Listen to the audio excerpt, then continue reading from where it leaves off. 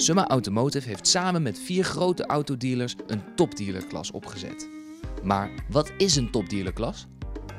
Topdealerklas houdt in, eh, dat is gewoon de eerste autotechnicusopleiding. Deze opleiding wil ik eigenlijk eh, sinds de eerste ongeveer al doen, wil ik automonteur worden. En dan, ja, daar heb ik mijn VMBO heb ik zo heel tijd naar uitgekeken en dan kan ik de opleiding doen en ik vind het echt heel leuk. Ja, het verschil qua werk en eh, dag, school, dat vind ik al fijn. In de drie jaar hebben wij, eh, krijgen wij hybride. Dan krijg je meer gericht op hybride. Als je in de topdealerklas zit, dan krijg je extra lessen met klantcontact.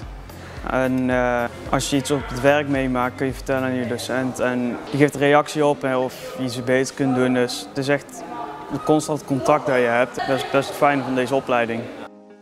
En hoe zit het dan met werk? Eh, Ja, ik heb nou een baan, dat is gewoon één jaar contract, omdat het het eerste jaar is. En dan, als het goed is, ja, ik hoop als ik goed mijn best doe natuurlijk, en ze zijn blij met mij en ik ook met hun, dan wordt mijn contract met een jaar verlengd.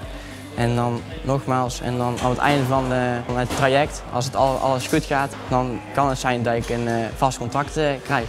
Dus ja, dus ik, ja, ik vind het wel leuk. Ik hoop dat ik zo lekker mag doorgaan bij uh, Trieste Valkenswaard. Dat vind ik echt leuk en gezellig.